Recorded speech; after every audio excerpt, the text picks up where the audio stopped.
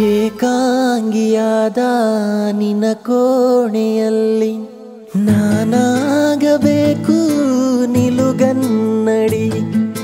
ಅಥವಾ ನೀ ಬಂದು ರುಚಿ ನೋಡಿ ನೋಡಿ, ಚೌಕಾಸಿ ಮಾಡೋ ಸಿಹಿ ಅಂಗಡಿ. ಜೊತೆ ಸೇರಿಸಿ ಹೆಸರ ಬರೆದಳಿಸುವ ಕೀಳು, ಮುಖ ಮರೆಸುವ ಹೆರಳ. ಬದಿ ಸರಿಸಲೆ ಹೇಳು. ಪಠ್ಯೇತರ ಚಟುವಟಿಕೆಯು ಇನ್ನೇನಿಲ್ಲ.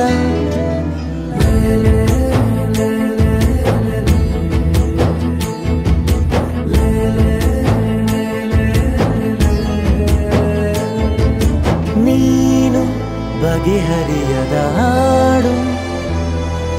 ನೋಡು ಹದಿಹರೆಯದ ಪಾ